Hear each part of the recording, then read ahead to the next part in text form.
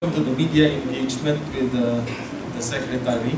Our uh, our guest of honor this morning is a former Filipino television news personality and news anchor, radio commentator, podcaster, audio blogger, and voice-over artist who last worked for TV5. TV5. He spent his high school years in Cagayan de Oro and Manila, and his college at the University of the Philippines in Los Baños before he moved with his mother to Australia, where he graduated Bachelor of Arts in Social and Political Studies and Film and Media Studies. He also completed his Master in Entrepreneurship at the Asian Institute of Management in 2007. The U.S. State Department sent him, along with 30 Filipino youth leaders, to Northern Illinois University for an International Visitors Leadership Fellowship Program in 2008. He also went to Georgetown University in Washington, D.C. to attend an executive course in public and nonprofit management, completed Senior Executive Fellows Program at the Harvard University, uh, Harvard Kennedy School, and attended courses on communications in public policy and uh, public policy delivery and countering violent extremism at the Lee Kuan Yew School of Public Policy in Singapore. He also pursued further doctorate studies in public administration at the University of the Philippines in Diliman. In June of 2016, he joined President Rodrigo, Duterte's administration, leading an office that was tasked with supervising both operations of the government, government news and information agencies. There, he took on the task of supervising operations of the Philippine Information Agency, Philippine News Agency, uh, People's Television Network, Philippine Broadcasting Service, Bureau of Broadcast Services, Bureau of Communication Services, National Printing Office, Apple Production Office, uh, Unit, and Intercontinental Broadcasting Corporation. He also spearheaded the formulation of the National Communication Strategy that focused on the rehabilitation of existing, government media and communications resources and the development of news platforms for communicating and engaging with the public.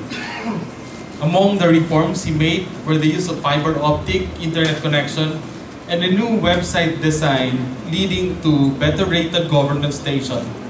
The PNA also established a three-layer editorial process to ensure the quality of content. He also supervises the Presidential Task Force on Media Security as a special agency to protect media workers, leading to the creation of the Kapisanan ng mga broadcaster ng Pilipinas Handbook on Personal Security Measures for Media Practitioners. This is a document that outlines how media workers may enlist government protection services against threats to their life and security. With this department and the Department of Finance, they launched in 2017 Duterte Economics, a flagship communication program of the PCOO, which focuses on the socio-economic policies of the President, which also includes infrastructure uh, and industries development, of which today's topic would center on.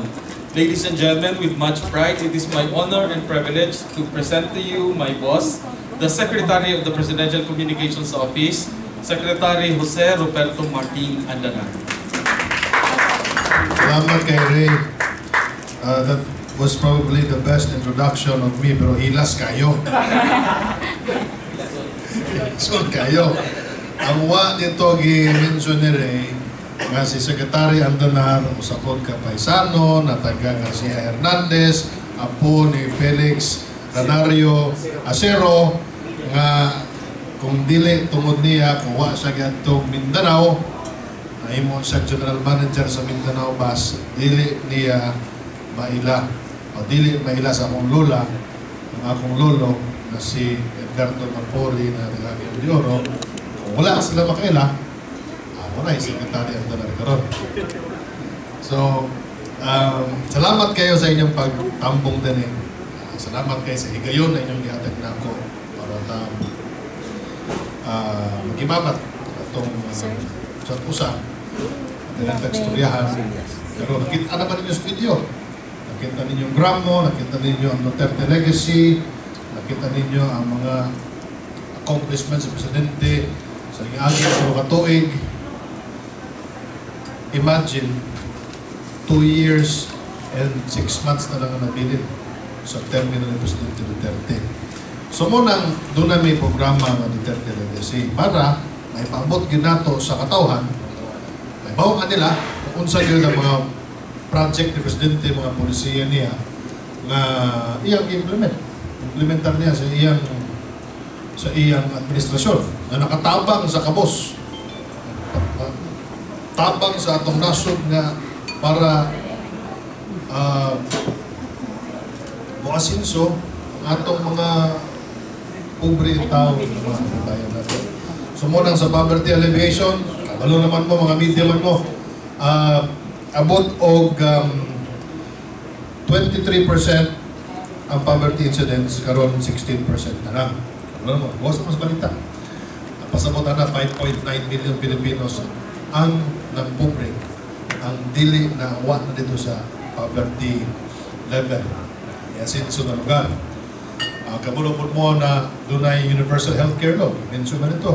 Kabulupot mo na dunay universal eh, uh, uh, free tuition act. Nalibre na atong mga estudyante sa koleyo kung eskwela sila sa state university or college. Kabulupot mo na ang atong pag-uuma na dunay 8 hektaryas pobos, libre ilang irigasyon. Kabulupot mo na ang atong mga seniors, uh, dunay additional benefits padawat sa SSS, dunay additional na benefits padawat sa atong at sa atong DSWD um, na under the Duterte administration na institutionalized na ang pantawid pamilya o kaning unconditional cash transfer kung sa ba yung uh, what yun ibawan. Kabro ng mustaran. Diba? Dako kayo na na-contribute sa Duterte administration. For the last three years lang, tanad na iyang gisaan. Drug war, o shabu, taas ng presyo. From 2.5 per gram, karon 6,800. Di ba? Mahal na. Kung siya pasabot ng mahal na. Sorry, sorry. Low supply naman, higit na. Um, isa pa. Ang na, doon na na kalinaw dito sa Mindanao. Kaya napirmahan ang Bangsamoro Organic Law. Doon na tayo Bangsamoro Autonomous Region of Muslim Mindanao. Nga katong iaging administrasyon nga lisod gid sila ipasar sa Kongreso. Doon National Task Force to End Local Communist Armed Conflict na daghan na kayo mga rebuilding ni surrender. At least among area of responsibility to this Northern Mindanao in June 10. Daghan na kayo surrender. Sa pa? Mga peace and order, okay. Uh, poverty alleviation, ang mention, okay. Anti-drugs, okay. 16,000 barangays na cleared na sa drugs. Doon na pa yung mga nabilin. Doon na pa yung mga nabilin na pinapakalibo. Kila? 16,000 ang cleared na. Doon na pa yung mga nabilin. Pero kinalan, padayon lang yapon. 40, 40 billion. Uh, 40 billion pesos nga kantidad sa mga droga, mga drug paraphernalia ang na, na, na kumpiska sa gobyerno. May naliptan, Malasakit Center. Doon may Malasakit Center na eh. Uh, tungkol sa Malasakit, bill nga gipos yun ni Senator Bongo na imong balaod. Wa pa si Senator Bongo magkuskatuig sa Senado, balaod nga doon na tayo sobra sa 53 o 54 kubok Malasakit Center sa Tibok, Pilipinas. Gilunsar ni, kano sa unang gilunsar? Nag 2018. Karon more than 53. Kada malasakit center dahil minimum na 5 million pesos gikan sa Presidential Social Fund para ihatag sa atong mga kabos na way taong papatambal. Okay, Senator Bongo. Okay, Presidente Duterte, pasalamatan natin siya. Tungod kay Presidente Duterte na pirmahan ang Administrative Order Number 1 creating the Presidential Task Force on Media Security nga mooy gitutok, nagtutok yun sila sa Maguindanao massacre case na para sa ato mga media na po katuig tanaghuan para lang makagawas og conviction. Tungod sa political will ni Presidente sa AO number 1, Presidential Task Force on Media Security gigawas na ang desisyon katong miaging Disyembre ang promulgation sa desisyon sa Maguindanao Massacre na mo na ning pinaka history historic uh, judgment nga daghan kayo nga nakonvict tungod sa media killing in the world ha so katong ya katong nahitabo na Maguindanao Massacre 10 years ago uh, wa na desisyonan sa duha ka administrasyon na desisyonan karong administrasyon tungod sa political ng presidente. So wa na tarito sa listahan as one of the most dangerous countries for our journalists. Diba? one of the most dangerous countries for journalists ang Pilipinas five. Naon sa may atong kuan mga sa may atong way forward. The way forward now is di na si Motro kung saan di otro? My office, together the, with the Presidential Task Force on Security, among advocacy nga mapirmahan, mahimong balaod, gining Media Workers Welfare Act.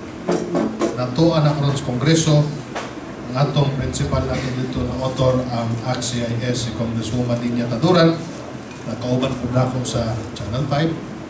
Ang karon siya may nag-fight dito, nakatutok po mi. So, nga akong mga polisiya sa PCO o pagabot sa media. Presidential Task Force Media Security, EO number 2, Freedom of Information, o ang ikato, uh, kining atong i-fight sa Kongreso karon ang Media uh, Workers Welfare. Di na na ko ni taaso. Chinese New Year.